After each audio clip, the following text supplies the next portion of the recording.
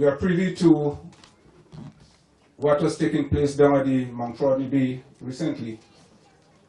Although some people wanted to associate what was happening to the breakwater without any um, technical evidence or any scientific evidence, we do understand that there are many areas that are subjected to coastal erosion and the residents are extremely vulnerable to whatever um, could occur.